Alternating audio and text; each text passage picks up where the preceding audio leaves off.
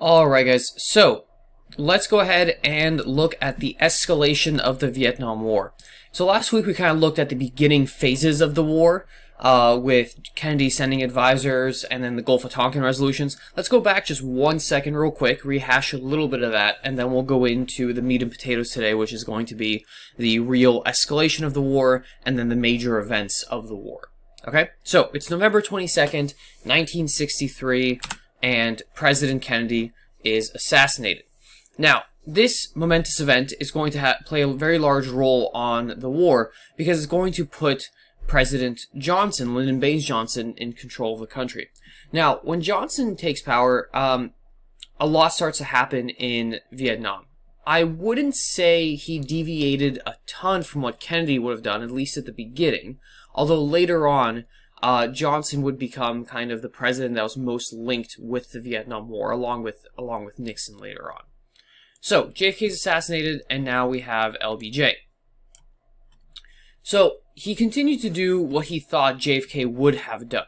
He kept the same advisors, kept the same cabinet, and continued with escalating the war like JFK did. Now, if you guys remember from last week when I talked about this, uh, for a lot of the presidents in uh, in the Vietnam War, their main idea, their main kind of goal was to not be the president that lost Vietnam, right?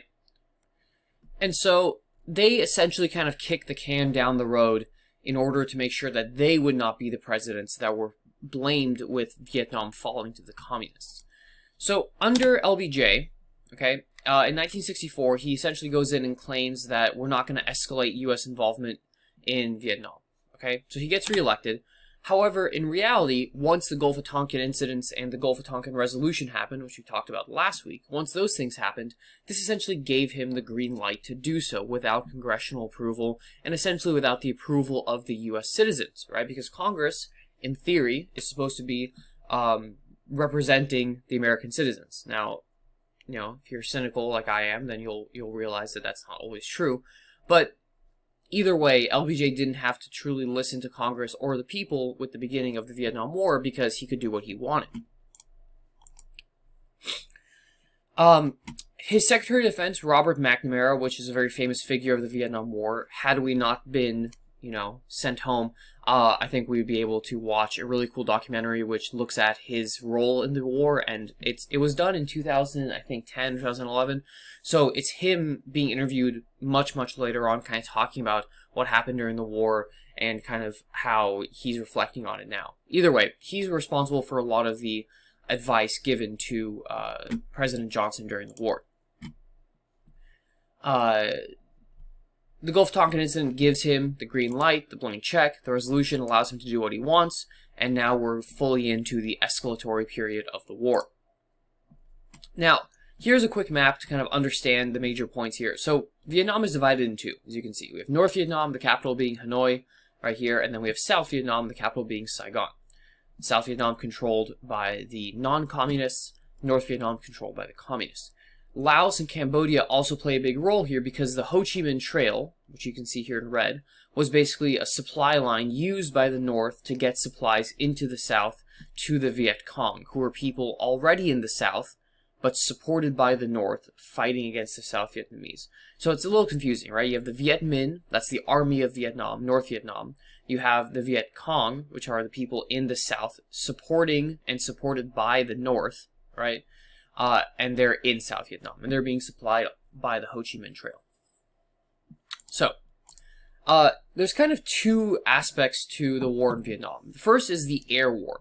So, like I said, the U.S. didn't want to get too involved in North Vietnam because, again, if we go back a second, right, North Vietnam borders with China. And just like in Korea, when China got involved when the U.S. got too close to its borders, the U.S. was afraid of another Chinese intervention. And so what they did was instead of invading North Vietnam, they just bombed it. Okay, uh, this was called Operation Rolling Thunder, uh, which started on March 2nd, 1965, uh, during which there was just ongoing bombing, especially of Hanoi, uh, as well as other targets in North Vietnam, uh, mostly targets along the Ho Chi Minh Trail as well. And they were just constantly dropping bombs after bomb after bomb on North Vietnam. Okay. Uh, these were the first kind of casualties of the Vietnam War, were the downed pilots, pilots who were shot down and captured. Uh, they became prisoners of war and uh, were kept in North Vietnam sometimes for up to seven years, if not more, um, when they were captured. They also used uh, napalm, which is essentially kind of a, a jellified fire, for lack of a better term. Basically, what they would do is they would drop this napalm over the Ho Chi Minh Trail, and it would just burn the forest down because most of the trail was hidden by the forest. And so by doing so, they could, in theory, they could figure out where the trails were, and so they could actually stop the supply going from the north to the south. In reality, though, because of the type of warfare that was being fought, it wasn't people wearing, you know, North Vietnamese uniforms. It was peasants being paid a little bit to go do this for the North Vietnamese, mostly. And and therefore, any sort of attack using napalm was also going to bring the risk of, of impacting civilians. And that's beyond just the, you know, ecological destruction brought on by it. This is something that was really a heavy, uh, a source of heavy criticism for the United States was the use of napalm. Okay. Uh, here we see a very famous photo from the Vietnam War. Uh, they dropped napalm on this uh, town in South Vietnam and uh, they thought it was uh, an outpost of Viet Cong soldiers, and there may have been some, but there are also just a lot of families and kids, and a lot of people were burned by the napalm. And this photo, this photo was shown across the world, and it really brought on a lot of anti-U.S. sentiment across the world about what was happening in South Vietnam. The goal of Rolling Thunder was to raise the morale of the South Vietnamese by showing, hey, we're destroying the northern supply lines, we're fighting for you guys, we're going to help win the war. But in reality, it didn't work, right? You, you can't win a country over by bombing it, and you can't control a piece of territory just by bombing it. And so, in reality, Rolling Thunder didn't didn't work, and so that led to ground forces being used in the South. Uh, they still wanted to keep the war localized to a degree. If they if they send troops to the north, the fear was that China or the USSR would get involved. And so what they did instead was they sent ground troops into the south to fight the Viet Cong, but this also didn't end the war like they hoped. Okay. And so we see here some uh, criticism of the war. These are some political cartoons. Right here we see increased bombing will stop the infiltration. Increased bombing will break Hanoi's morale. Just one more step in the bombing. So I want you guys to, in your Google Doc, just answer real quick, what is the message of this political cartoon? Okay. Uh, here we see the deployment of troops. This is ground troops in Vietnam, right? So through 64, it's pretty small, but then by 65, 66, 67, 68, we see a huge increase in the number of American troops being sent to Vietnam. The ground war, um, a couple important aspects here. There are no territorial goals, uh, because in theory, South Vietnam was already controlled by the U.S., right? It was already controlled by our allies and by us. So we weren't trying to, you know, capture a city or whatever. We were just trying to defeat the Viet Cong, but we didn't know how, how we were going to defeat the Viet Cong. So it became a thing of body count. And so essentially every day, right, on the TV, you would watch the news and the news would say, hey, today, you know, 100 Viet Cong soldiers were killed, 200 Viet Cong soldiers were killed. And so the idea was if we killed more of them than they killed of us, we would win the war. But that's not, you know, that's that's not a very good way to justify a war and to and to or not really justify it, but to kind of measure if you're winning a war, right? But this kind of speaks to the difficulty of fighting the war in which there were no, you know, uniformed soldiers for the Viet Cong. We weren't trying to capture North Vietnam. We were trying to contain communism, right, and stop it from spreading to South Vietnam. And so essentially, this war turned into something that the U.S. really couldn't win. Uh, it's also important to note that this was the first quote-unquote living room war because this is when TVs became really available to most Americans. TVs had emerged in the 50s and 60s, early 50s, or early 60s, sorry, but by the 60s, mid 60s, they became actually affordable to most Americans. And so most Americans could actually follow what was happening on TV and they could see the impact of it right away. They were being shown footage and stuff. And the news, the media was given unprecedented access to the war, much more than they would be given today, which really gave the Americans a very honest depiction of the war and led to a lot of anti war sentiment by many Americans. So there are kind of conflicting strategies amongst the people in the U.S., people in the government, right? There are some people who kept saying, well, let's keep escalating, right? Let's keep getting involved, send more troops, and we have to keep doing this because we can't lose Vietnam. Whereas on the flip side, there are people who said, well, Asia's none of our business, let's get out of it, let's do nothing. So again, I'd like you guys, whoops, sorry, to look at this cartoon. We have the guy here saying, escalate, there's no substitute for victory. And then this guy sticking his head in a box of sand saying, repent, Asia is none of our business.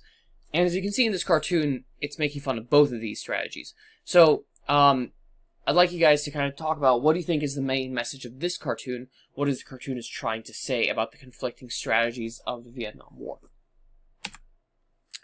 So, like I said, one of the major difficulties of the war was that we didn't really know who the enemy was, right?